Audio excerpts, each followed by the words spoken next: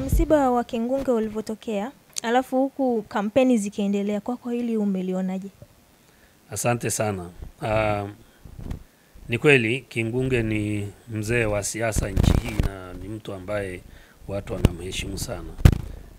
Sisi kwa upande wetu, jana siku ambayo tuli, ilikuwa siku ya kuzikwa, hatukufanya kampeni yoyote.